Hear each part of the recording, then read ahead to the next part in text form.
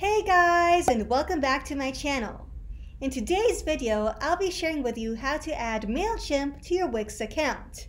This is great if you're using MailChimp as your email marketing platform of choice and want to integrate MailChimp with Wix to transform your visitors into subscribers and ultimately into sales. Stay tuned until the end of this video to learn how to add MailChimp to your Wix account and to get a free complete website creation guide to help you create your own website step by step without stress or overwhelm. Also, make sure to subscribe and hit the bell to be notified every time I post a new video. With that said, let's go ahead and jump right in. Email opt-in form in MailChimp click on Create from the menu up top, and then on Sign Up Form.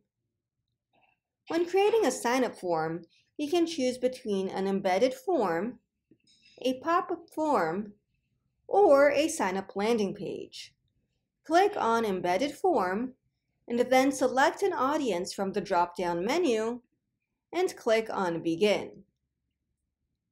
On the next page, you'll be prompted with the number of email opt-in templates to choose from.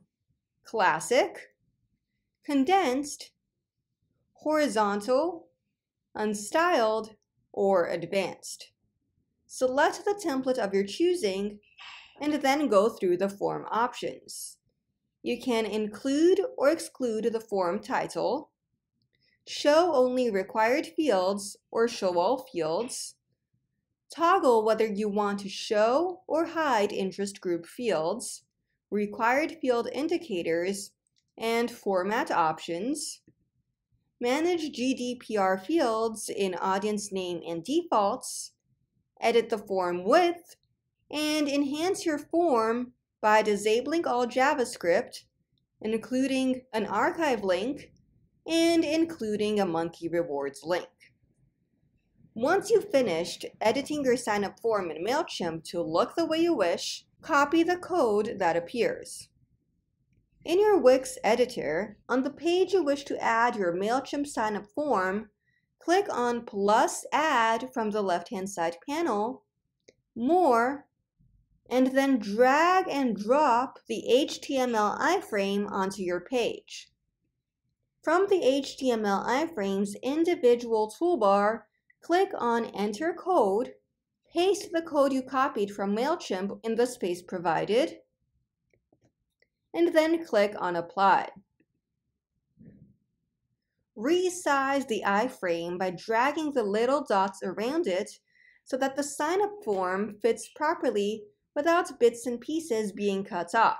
Once you've finished editing your email sign-up form, remember to save your work and click on the blue Publish button up top to make your changes active to all of your site's visitors. Now you know how to add MailChimp to your Wix account. As promised, to get a free complete website creation guide to help you create your own website step by step without stress or overwhelm, just click on the link in the description box below. So what will you be sending your email subscribers once they opt into your email list in MailChimp?